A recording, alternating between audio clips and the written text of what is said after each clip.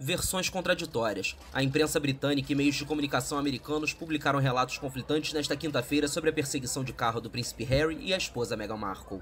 O casal descreveu o episódio, ocorrido em Nova York na terça-feira, como quase catastrófico.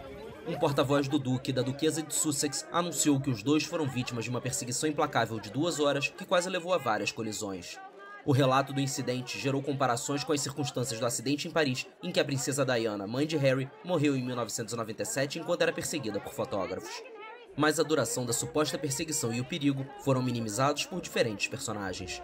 Em entrevista exibida pelo canal britânico ITV, um dos fotógrafos envolvidos acusou a comitiva dos duques de causar o perigo.